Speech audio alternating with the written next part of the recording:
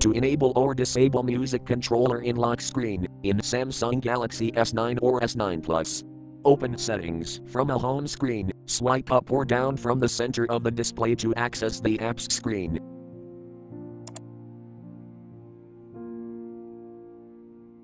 Tap settings.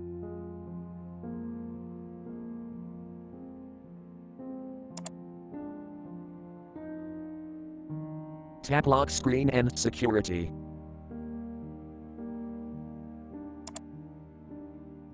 Scroll down.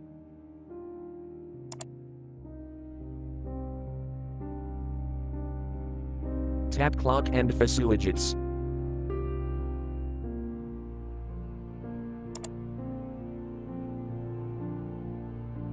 Tap FaceWidgets.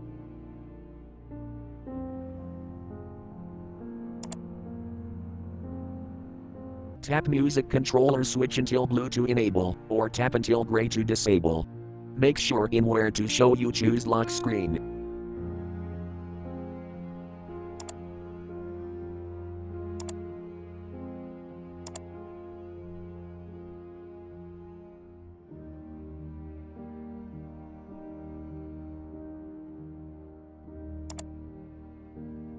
Thank you for watching, have a nice day.